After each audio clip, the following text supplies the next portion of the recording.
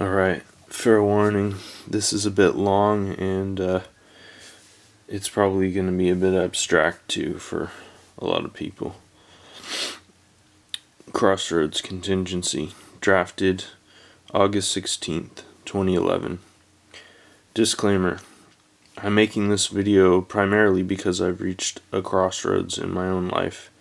I think it's only fair that I state up front. This video is really about me more than anything else. The most important thing to realize in respect to civilization is that there is no specific reason for things to be as they are. Whatever the status quo may be at any given moment, it cannot be blamed on any one thing. Things are as they are because of complex interdependencies that effectively prevent systemic change at certain scales. All too frequently, following the event of a global crisis, people will point fingers at specific factors with absolute conviction that if only one thing had been different, the crisis could have been averted. This simply isn't true. Inversely, everything can be blamed on collective determinism. The status quo is merely the direct result of all our individual actions combined actions which are themselves determined by the foundational forces of the universe, i.e., nature. This is where the facts end and the philosophy begins. All we have by way of clarification is a limited historical record cataloging countless examples of failure and success. It's also important to keep in mind that the definitions of failure and success are fairly subjective they can and do change over time. That being said, the line has to be drawn somewhere. In terms of geopolitics and socioeconomics, it's relatively safe to define failure as anything that lowers our quality of life over time, and success as anything that raises our quality of life over time. These are wonderfully flexible definitions because quality of life is both general and concise, while the phrase over time does not specify a set scale. It just suggests either a downward or upward trend, fading away into forever. Just to elaborate, imagine that you live in poverty, yet your quality of life is set to steadily improve over the course of a century. This may actually be less desirable than living a life of incessant decadence that is slowly slipping into poverty over that same time period.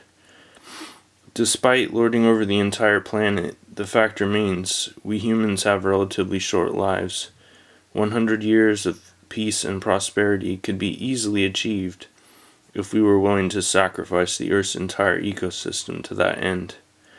The alternative is living comparably poor lives that will allow for the possibility of successive generations we will never live to see. Morality aside, neither bargain seems particularly intelligent. Today, the predominant delusion is that we can somehow live both of these lives at the same time. This isn't, however, a choice we can make individually, but rather a collective effect that happens automatically as we live according to various genetic and cultural principles. You might note that despite this apparent paradox, nature is working exactly as intended. Granted, we have no idea what that actually what it actually intends, if anything. My main intent with this video is to outline various observations including the contingencies I have established in response to the status quo, which by my definition of failure appears to be failing. To address any one of the key factors is to strike at the root of every conceivable institution comprising the fabric of civilization today. The very foundations of modern living must be put on trial. No cow is too sacred. No convention or ideology is immune to rigorous re examination. First question Is civilization viable? Two quick answers Short term, yes. Long term, no. The facts are fairly straightforward. We are using up natural resources faster than they renew, and we are simultaneously destroying the natural systems that make many of those essential resources renewable. If there is one factor above all others that is responsible for this overtly suicidal behavior, it is our global economic system, which uses scarcity to determine value. At a fundamental level, this means that plentiful resources are considered worthless and are therefore exploited and consumed until they either become too scarce to afford or used up completely. This kind of system might actually be practical if we lived in a world where every natural resource existed in a vacuum. Unfortunately, most, if not all, natural resources are intricately connected and interdependent.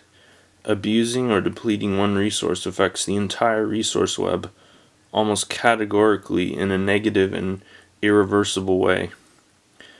Although the most destructive aspect of this process is that due to the distributed global nature of the attack, there is no effective way to defend against it.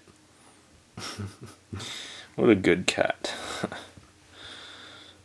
Furthermore, the vast majority of the damage is done entirely under the radar and may take decades or even centuries to uncover. That is assuming we would even be able to connect the dots.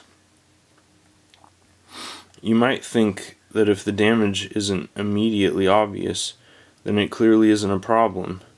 You'd be half right. This is analogous to breaking a table leg.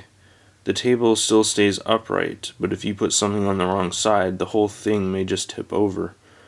The problem is that no one knows how many legs the ecosystem has, and we've been pretty busy breaking every one we can get our hands on. Not to mention, the human race is piled on top of this table, about a metric ton more of us than it was ever designed to support. So, yeah, that is civilization in its current form. But what about pre industrial civilization? How does that stack up? Low tech hunter gatherer societies are effectively sustainable in both the short and long term. Just keep in mind that there are good yet brutal reasons for this to be true. Life expectancy is dramatically lower. Living conditions are austere. Climate virtually dictates community viability overall quality of life may actually be higher in many respects, but the philosophical cost is steep. In the end, our mode of civilization is determined by ideology, not by science. Factually, there is no doubt regarding viability, but at the same time, it is not really a consideration.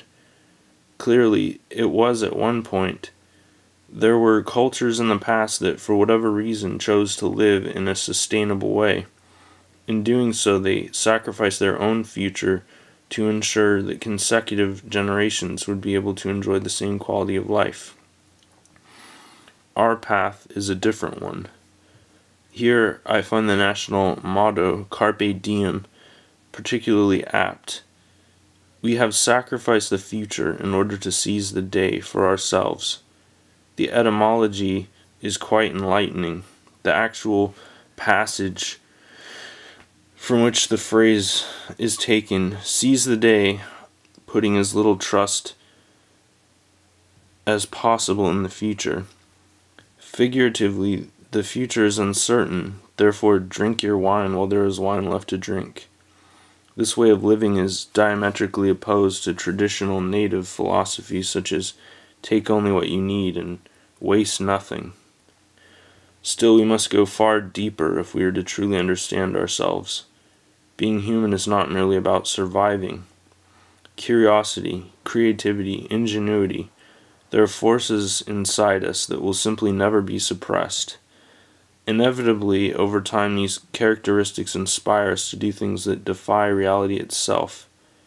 I love when people say, it's just evolution as if that somehow explained everything.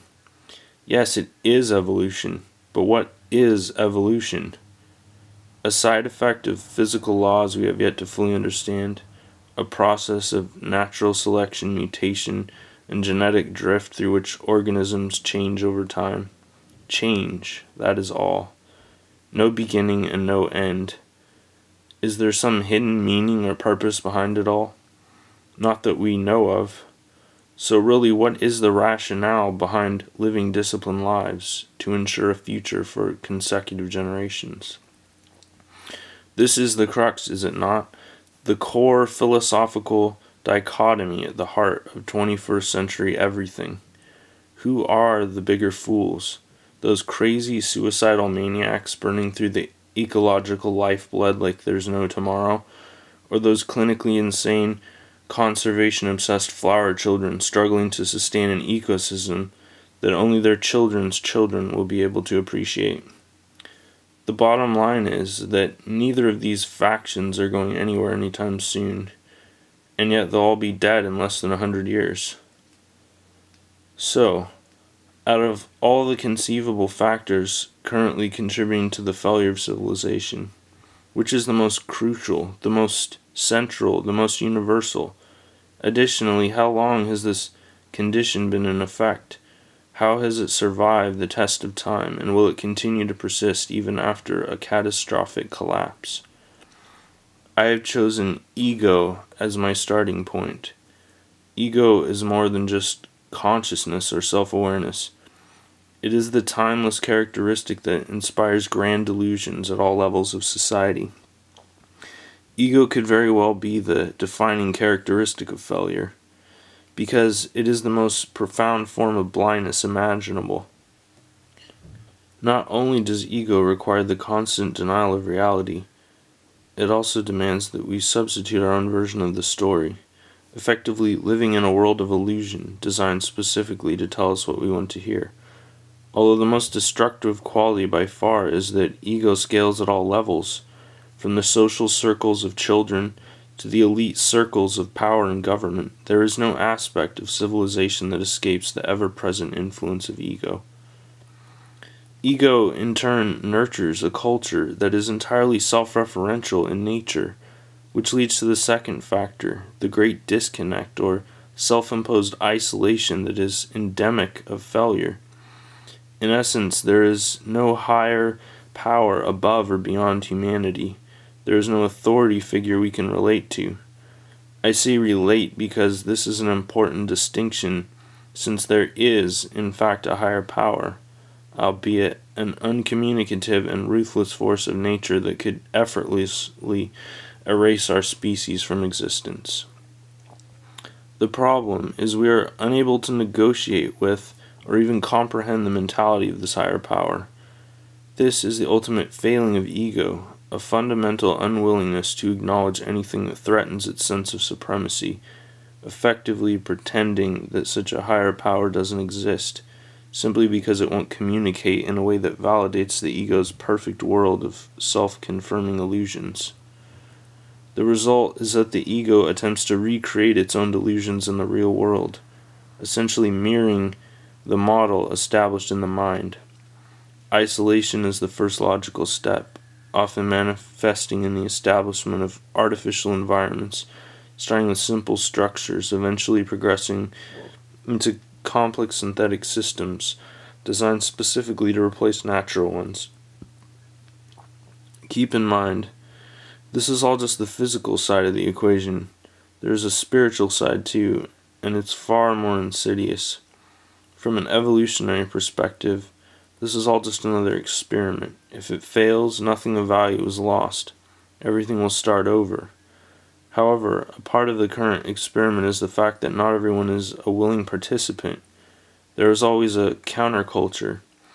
Ego is, after all, only an aspect of consciousness.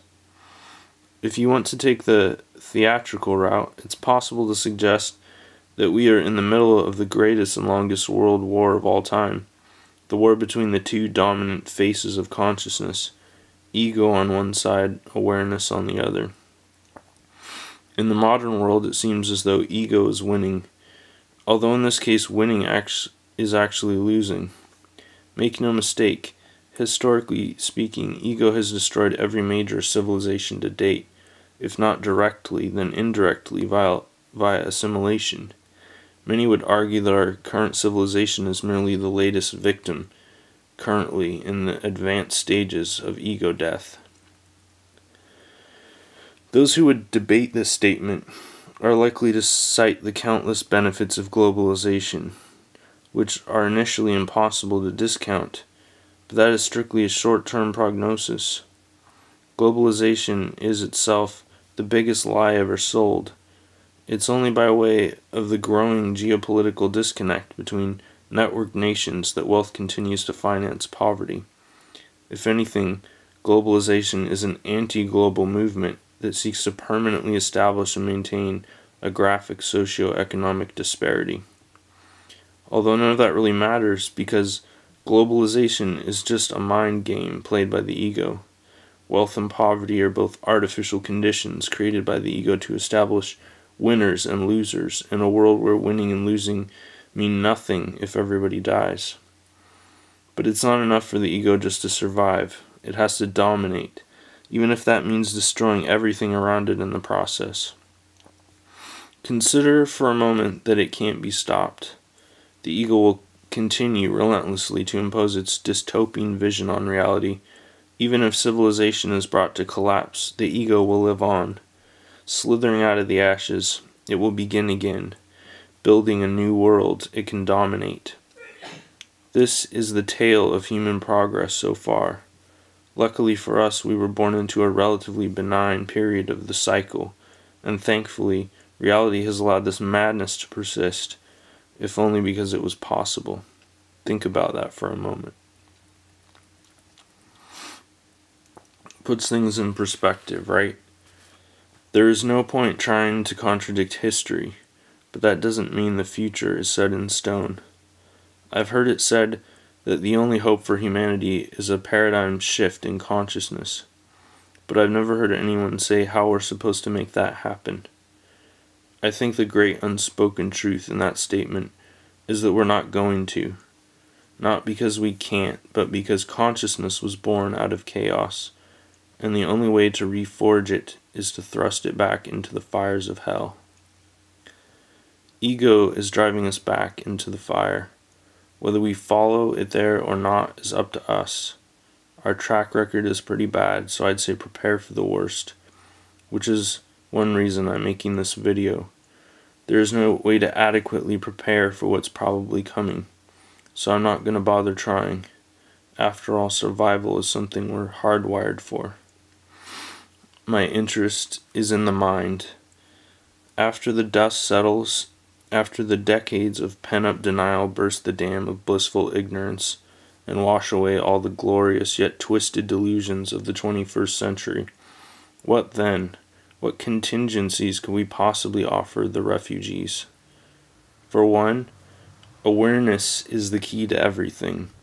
Like recognizing that ego is something that should be left smoldering in the ashes. If it tries to slither out, spear it through the head. It will never truly die, but it may be subdued. Our true wealth is our ecology first, our community second, and culture third. Money won't fix anything unless it is backed by life itself, and cities will become barren wastelands unless we build them with that in mind. Isolation kills the soul and breaks the integral connections between us and our environment. Biodiversity is distributed intelligence. There is nothing smarter nor stronger on this earth, but it's not conscious, nor is it invincible. Politics won't solve our most pressing problems because it, it is incapable of comprehending them. The past will continue to repeat until it runs out of resources. Then consciousness will have no choice but to change. When all this comes to pass, we will begin a new way of life, hopefully one that is considerably less ignorant, mindless, and self destructive. But no matter what, it won't last forever. It has no beginning and no end.